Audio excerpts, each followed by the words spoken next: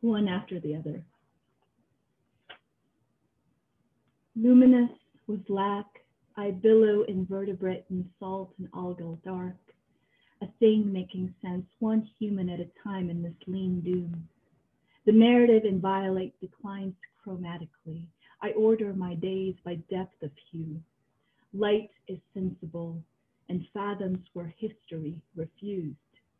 Before self shades into name, the foreground spores atomic, swaths of nothing to call back or by her name.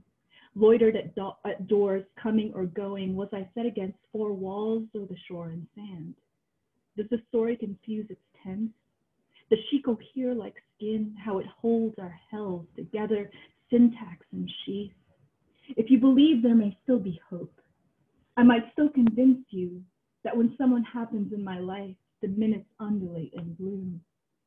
And anthers of stamen burst to cloud my flight, void of story, all flaw and collapse.